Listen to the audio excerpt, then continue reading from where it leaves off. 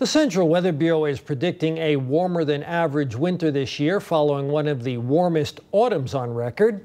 Average temperatures across Taiwan between September and November were the highest since the Bureau began collecting data, meaning that fall 2016 is already going down as one of the hottest ever.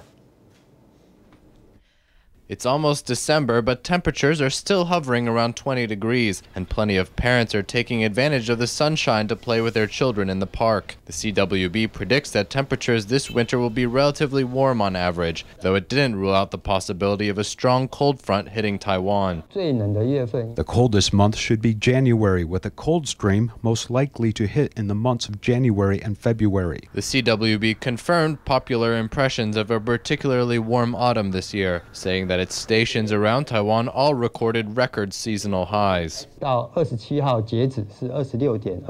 From September to November 27th, the average temperature was 26.28 degrees, which is far higher than last year's average, as well as the average for the year before. Although the forecast is for a warmer winter, a front of moist air from the south will begin to affect local weather beginning on Wednesday.